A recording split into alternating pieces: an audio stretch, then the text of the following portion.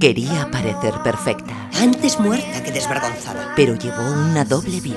He soñado con esto desde el día en que llegaste. Fingió ser alguien que no era A nadie le gusta la verdad. y lo pagó muy caro. ¿Por qué no lo hace conmigo? ¿El qué? Lo que hace contigo. Una película basada en hechos reales. Relaciones íntimas. En 8, Madrid.